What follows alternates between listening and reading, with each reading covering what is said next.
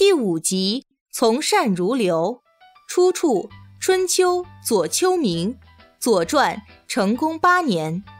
释义：从，听从；善，好的、正确的意见；如流，像流水一样，像流水一样迅速而自然地接受别人正确的意见。比喻乐于接受正确的意见，听从善意的规劝。历史典故：栾书，春秋时期晋国的上卿，因屡立军功，升任中军元帅。公元前五百八十五年，楚国派数万精锐军队进攻郑国，郑国不敌，向晋国求救。晋景公派栾书率军前往救郑。栾书的军队刚到郑国境内，就遇上了楚军。楚军见晋军来势汹汹，就退兵回国了。栾书不想就此撤兵，便去进攻与楚国结盟的蔡国。力量弱小的蔡国见晋国来犯，连忙派使者向楚国求救。楚国本不想与晋国正面交战，但蔡国来求救，很明显此战已经是避无可避了。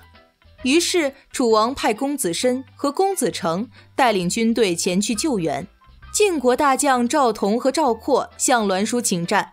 准备率军攻打前来援救的楚军，栾书同意了。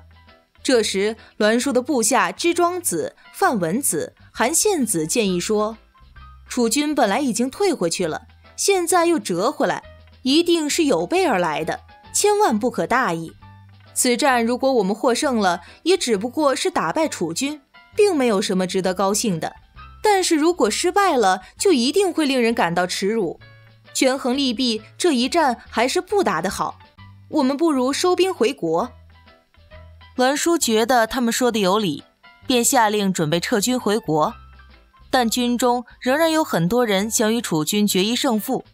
又听说栾书决定撤兵，就跟他说：“其实贤人与多数人的想法是一样，只要用心去做，事情就能成功。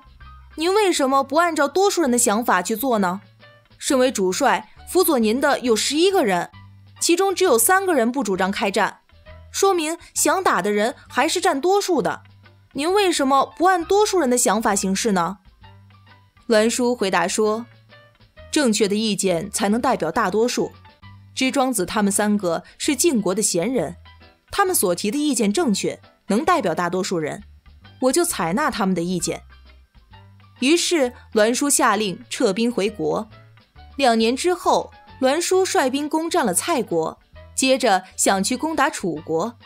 支庄子、范文子、韩献子等人分析了当时的具体情况以后，建议栾书暂时先不要攻打楚国，而应该去侵袭沈国。栾书觉得他们的建议正确合理，便去攻打沈国，最后取得了战争的胜利。栾书能正确听取部下的意见。人们称赞他能听从好的、正确的意见，就像流水一样迅速。成长心语：常言说，良药苦口利于病，忠言逆耳利于行。但凡能够建功立业、称雄一世的明君英主，他们对于敢于直言相劝、排除国家隐患的忠臣良将极为尊重。贤明的君主虚心纳谏，从善如流，做到防患于未然。成就一番伟业。